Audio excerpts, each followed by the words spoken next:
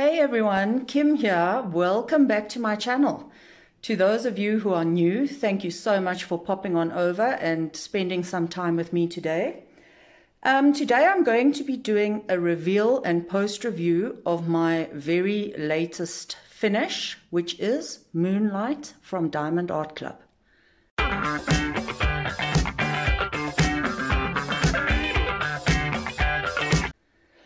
So without further ado, as you can see, you are looking at the back of the canvas. I've left it that way so that the reveal can be a bit of a surprise. Um, as I mentioned, we will be looking at Moonlight from Diamond Art Club. Um, the minute I saw this one, I fell in love with it. Um, and as soon as I got it into my stash, I actually decided to work on it. But without any further delay, here we go. This is my latest finish. This is Moonlight from Diamond Art Club.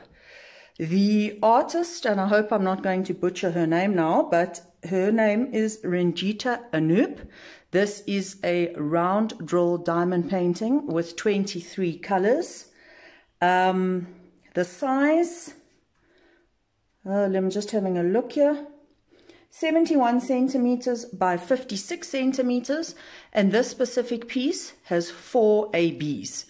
Now, before I get into the stats, let me just touch on that. For those of you that don't know what an AB drill is, it's a drill that has been given a special coating to make sure that it shines and shimmers a little bit more than your normal drills although these Diamond Art Club drills are so shimmery that uh, one does actually wonder if it's necessary. But yes, AB drills will give some extra sparkle and shine to your diamond painting. Um, and for most people, it's a real plus to have at least four ABs in the kit.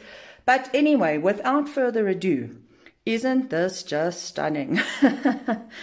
like I say, the minute I saw this one, I decided that I had to get it. Um, it is very much out of my comfort zone because I'm normally someone that gravitates towards dark art, gothic style art, um, adult cartoon type figures, and generally those type of, of paintings. I'm not big on landscapes or flowers or the more feminine type of artwork, if we can call it that. So my taste definitely uh, lend themselves to darker art. So, having said that, you are very surprised, probably very surprised that I decided to do this one.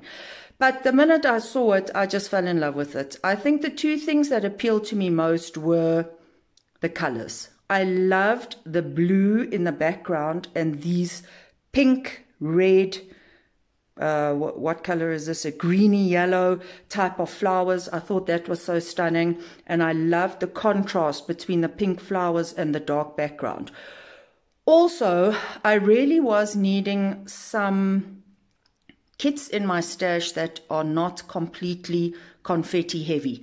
I've been working on a lot of confetti heavy kits lately. And so I really did want to get something where I would be able to use my multi-placers and do some decent amount of color blocking.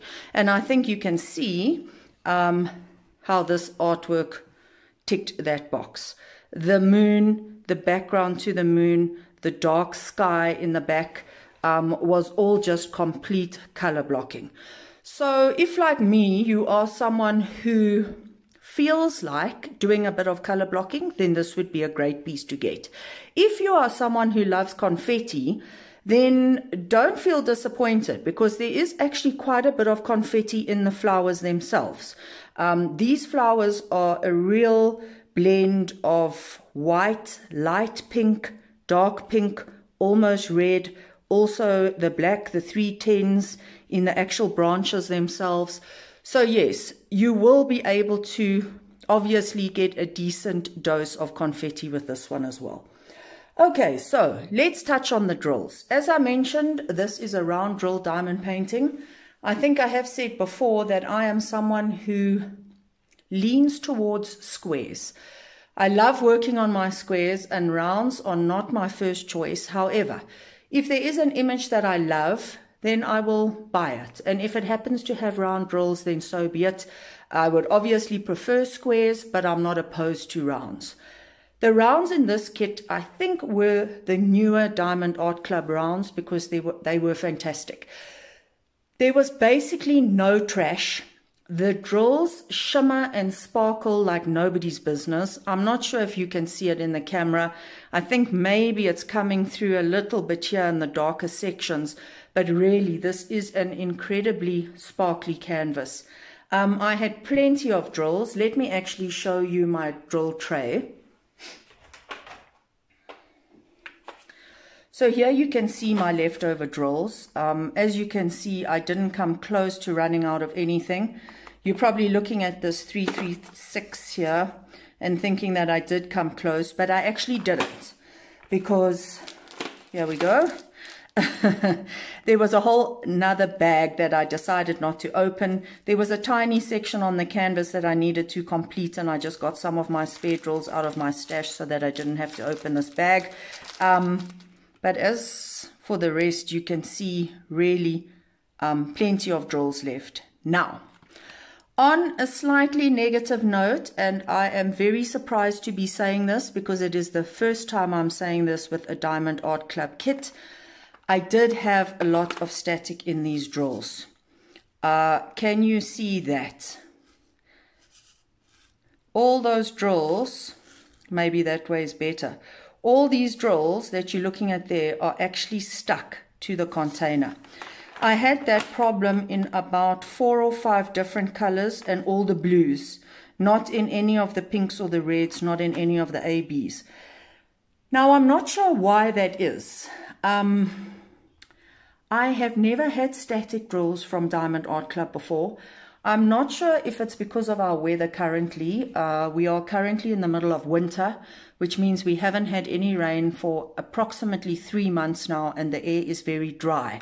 So that could be affecting the drills. But having said that, I have been diamond painting for about three years, so I have been working on paintings for three winters now, and I've never ever had staticky drills. So I'm hoping that that is just going to be a once-off problem and that it's not going to be a, a problem specific to these new drills. But other than that, really the drills were fantastic and I can't complain. Um, as you can probably see, they are, um, you know, they just look fantastic and the whole artwork itself looks fantastic. So next, should I touch on the symbols? Although what really is there to say about Diamond Art Club symbols? They are always crystal clear. Many people don't even use a light pad when they're working on DAC canvases. I actually do, and it's not because it's 100% necessary, but it's just habit now. I'm so used to using a light pad that I just use it all the time. It's my go-to. I just find the symbols on any canvas just become even more clear when I use a light pad. But with a Diamond Art Club canvas and with this canvas specifically, you will not need a light pad. The symbols were perfectly clear. As for the actual artwork and the rendering, well, I don't think it could have been rendered better. Um, I think it looks great through the viewfinder and through the camera, but it also looks fantastic as I'm standing here now live in person. Um, the AB drills, like I mentioned earlier, there were four different AB drills, and they were mainly placed in and around the flowers. There was a greeny yellow, there was a white, and I think there were a couple of pinks. The pinks, though, there were very few. And so as I'm looking at this canvas now, I'm actually battling to pick out the pink ABs. I think there are a few over there. Um, but yes, I thought the AB placements were perfect. I'm getting, as I look at the canvas now, I'm getting that extra shimmer, especially from the greeny yellow um, colors, which, you know, to my eye as I'm standing here are very sparkly. So I loved the, the ABs.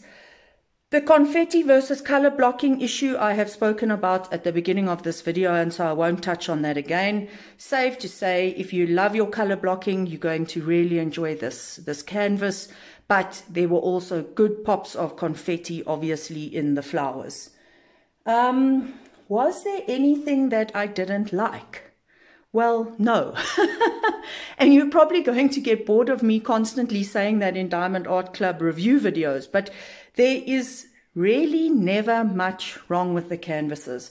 To me, Diamond Art Club is just a top, top diamond um, painting producer, manufacturer, supplier, and I never really have problems with their, their canvases and their kits. Um, the actual canvas itself is very smooth and silky. The edges are scalloped so you don't get any fraying and you don't get any bits of cloth sticking on your canvas. Um, the glue is always perfect. I've never had a dry patch. I know some people say now and then they experience glue that is very, very slippery. Um, I don't actually think I've ever experienced that either. So it's all good. It's all good from me. And just to give you a closer up view now of this canvas before we wrap up, I'm going to insert a video here where I pan over the canvas and give you a little bit of a different view. So enjoy that.